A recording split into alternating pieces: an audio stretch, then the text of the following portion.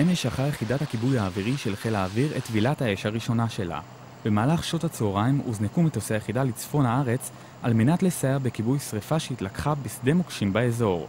לאחר שלוש שעות וחצי במהלכה נעשה שימוש בכ-40 טון של מים וחומר מעכב בעירה, הצליחו מטוסי היחידה שהוזנקו לכבות את השרפה לגמרי.